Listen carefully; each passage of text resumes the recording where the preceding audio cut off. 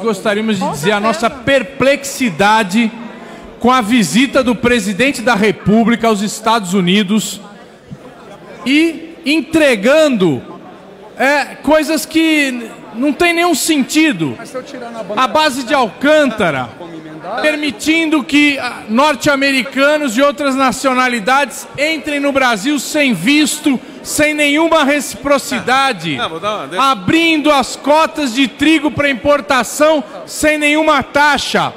Isso enquanto nós vivemos aqui no maior desemprego. São mais de 30 milhões de brasileiros entre, entre desempregados, entre subempregados, que não têm renda suficiente para atender às suas necessidades básicas. O Brasil não pode aceitar isso.